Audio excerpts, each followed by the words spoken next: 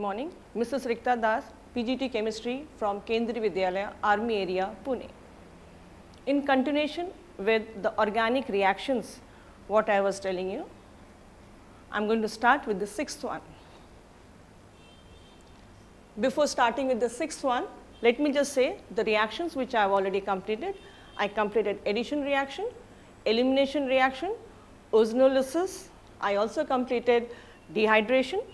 Now in continuation with the oxidation reaction, some more reaction I just like to tell you involving the aromatic ring.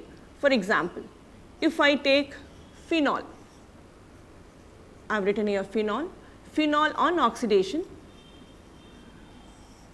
I am writing here as one of the strong oxidizing agent, sodium dichromate. I can even take potassium dichromate. In presence of an acid, I can take sulfuric acid. I am going to get a diketone. One of the conversion asked 2010 and 2011. You can see from the structure, it is a diketone. There is a conjugation. Here this double bond, single bond, double bond, single bond, double bond, single double bond. And thus I can call this one as conjugated diketone. This is called as benzoquinone. This conversion has been asked. Convert phenol to benzoquinone. I have also written that time one of the oxidizing agent as alkaline KMNO4. I have taken benzene I am attaching an alkyl group methyl. This is called as methyl benzene. This can be also called as toluene. Either I take methyl benzene or I take toluene. Here I am taking another alkyl group ethyl benzene. This is ethyl benzene. This one is toluene. If I react this with alkaline KMNO4,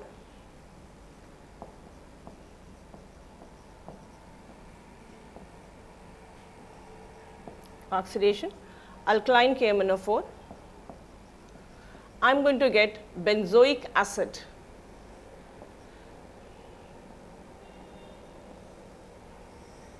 Benzoic acid, whether it is one carbon atom attached, one carbon atom alkyl group attached to the benzene ring or two carbon atom, it can be even three carbon atom. These on undergoes oxidation in presence of alkaline KMNO4 to give benzoic acid.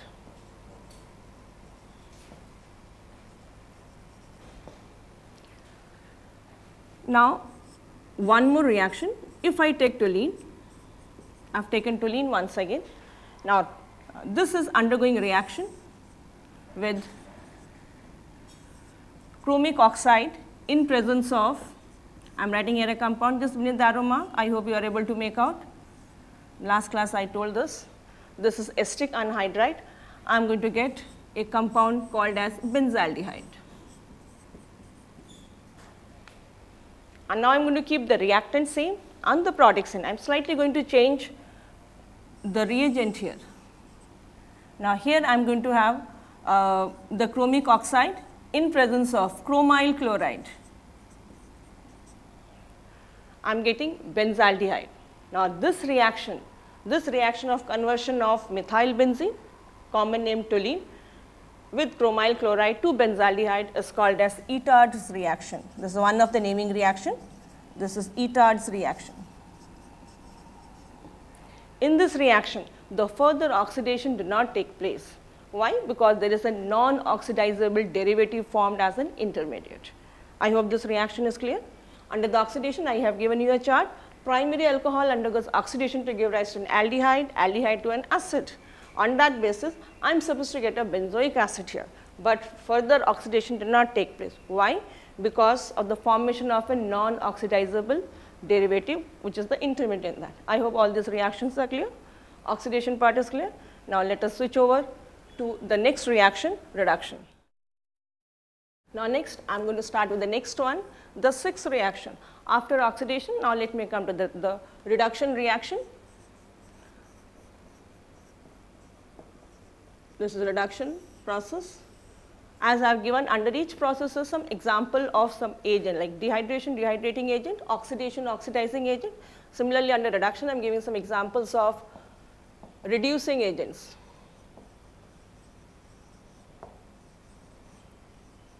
Some of them you have already studied in class 11th. I am writing one of them as LAH.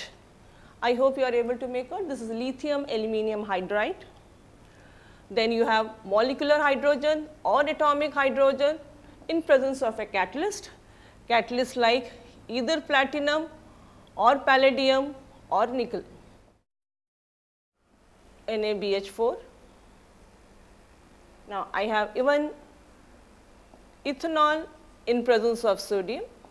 These are some of the common uh, sorry, reducing agent you will be coming across. As I have given in the chart, 1 degree alcohol and oxidation gives an aldehyde, aldehyde to an acid, just have the reverse of that, acid to aldehyde, aldehyde to primary alcohol. If this is the case, then if I take a propanoic acid, I am taking here a propanoic acid, this undergoes reduction. Let me just write LAH, lithium aluminum hydride. I am going to get propanal. Propanal on further reduction is going to give me propan 1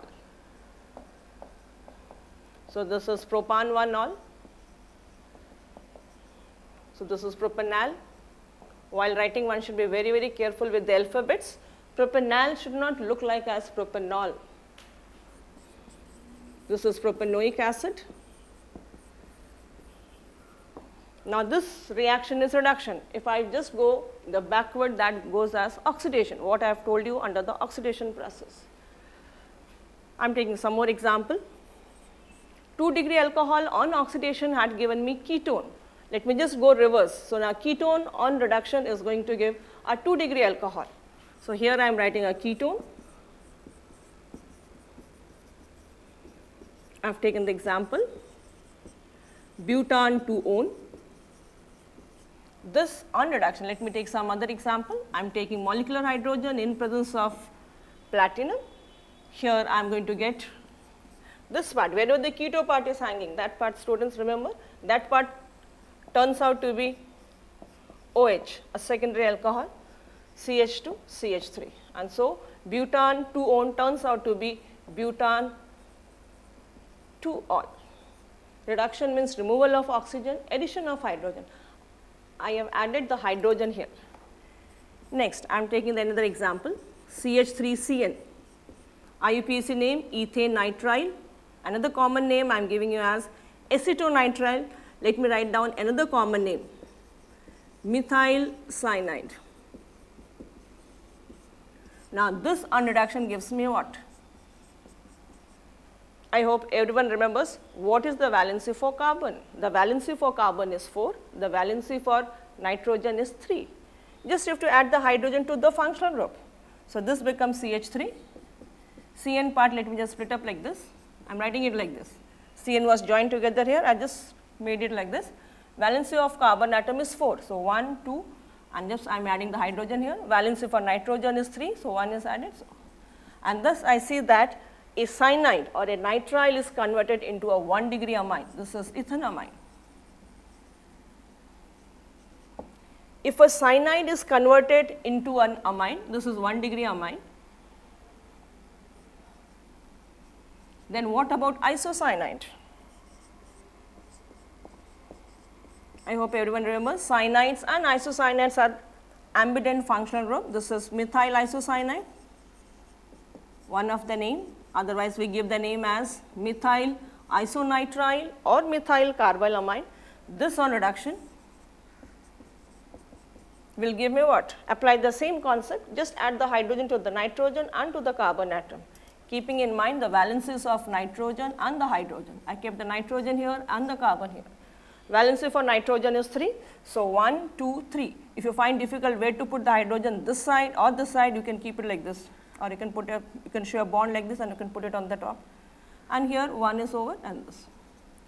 And thus you see that an isocyanide on reduction is giving me a 2 degree amine.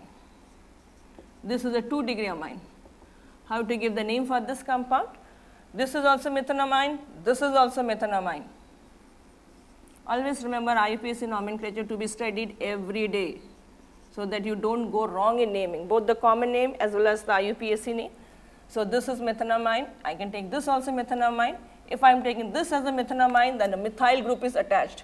So, before that capital N hyphen methyl methanamine. I hope this much part of the reduction is clear. After this, now let me take this compound and let me take a carbonyl compound CH3, C double bond O, CH3. I have taken a ketone.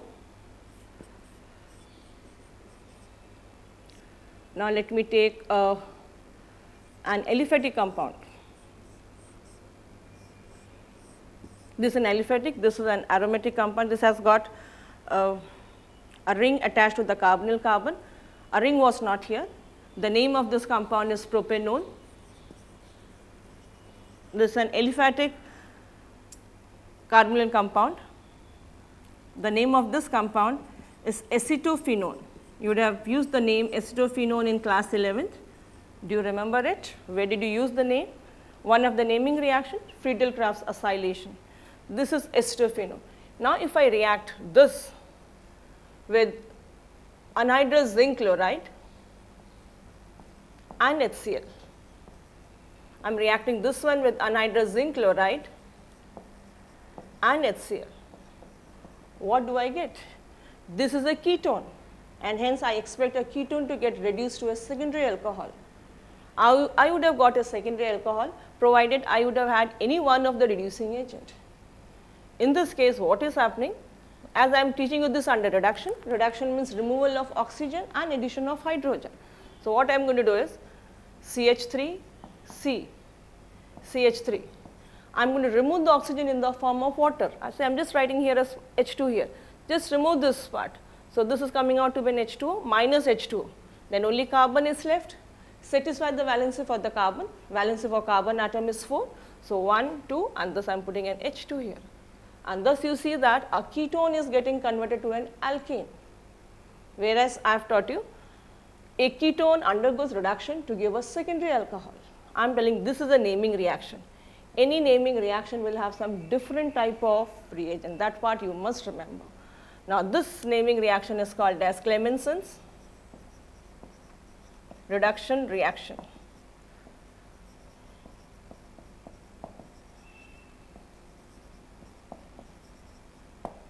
if this is asked in the examination, you get two naming reaction in the examination, 2 marks, 1 mark each. If this is asked, write short note on Clemmensen's reduction reaction, half a mark is for the statement and half a mark is for the reaction. How do you write? Convert the reaction in the form of the statement. When a carbonyl compound reacts with anhydrous zinc chloride in presence of HCl, the corresponding alkane is formed. If this is the case, how do I do for this part? Just remove the oxygen. So, this is going to form water molecule. Now, students try. What will be the compound? I have removed the oxygen as water molecule. So, only carbon atom is left. Satisfy the valency for carbons 1, 2 and thus this goes just like this. So, can you name the compound? If CH3 attached to ring is methyl benzene, then this part ethyl part attached to ring will be called as ethyl benzene. So, both these are examples of Clemmensen's reduction reaction. I hope this part is clear. Now, what I will go, I am going to another naming reaction where I am going to keep the reactant and the product same. I am just going to change the reagent and this is then going to turn out to be different naming reaction.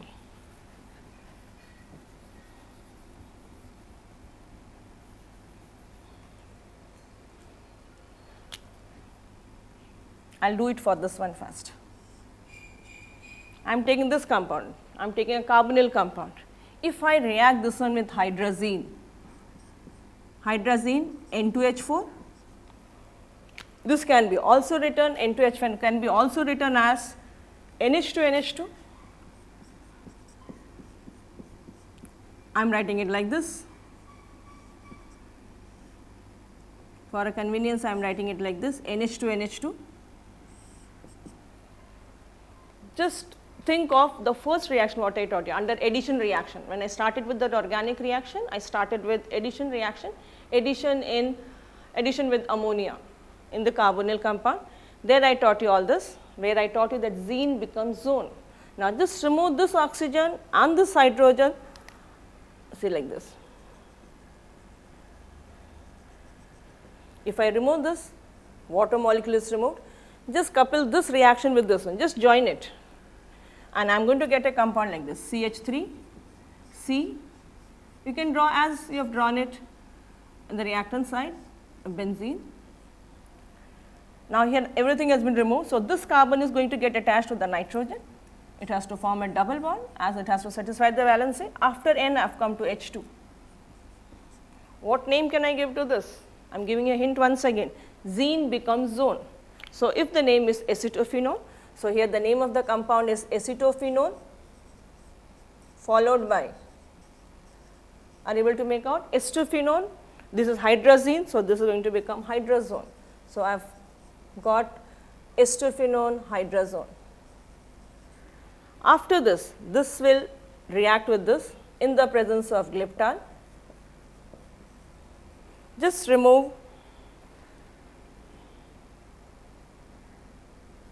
here I have missed one of the nitrogen. I hope it is clear. Hydrazine is N2H4, this is NH2, this is NH2. I am just removing the H2O part. So, this carbon atom is going to get attached to the nitrogen. So, nitrogen and then this N is going to attach to the hydrogen. So, it is like this.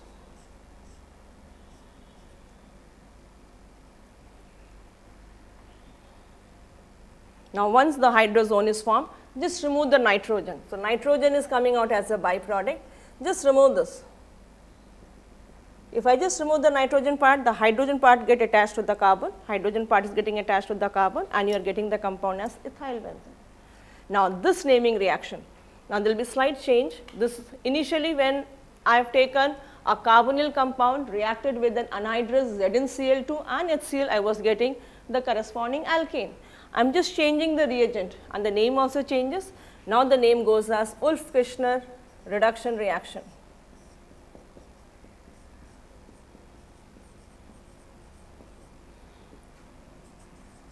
You should be very careful when this is asked in the examination because in both the naming reaction, the reactant and products are same, the difference lies only in the reagent part. I hope it is clear. So, this one is carbonyl compound reacting with ZnCl2 and HCl alkene.